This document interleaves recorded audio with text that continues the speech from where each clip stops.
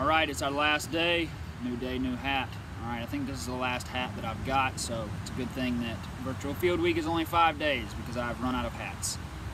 Um, this game that we're gonna play is called If the Shoe Fits. Now, what you need for that is a shoe, all right? Um, and then a big area. You don't wanna hit a person or maybe knock a window or anything like that, so make sure you're in a big area, preferably outside.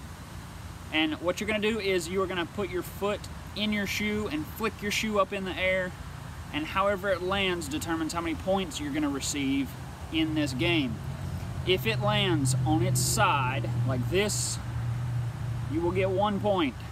If it lands like this, you get two points. And if it lands perfectly upside down and stays this way, you get three points. All right, let's see how I can do. I'm gonna put one minute on my clock. Let me pull my timer out of my pocket. Get one minute on this clock. Get ready, get set, go. One point. One point. Two points.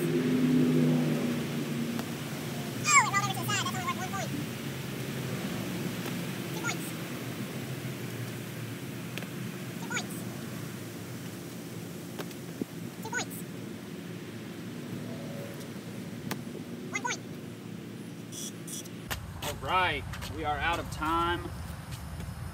I don't remember how many points I got. I didn't add it all up.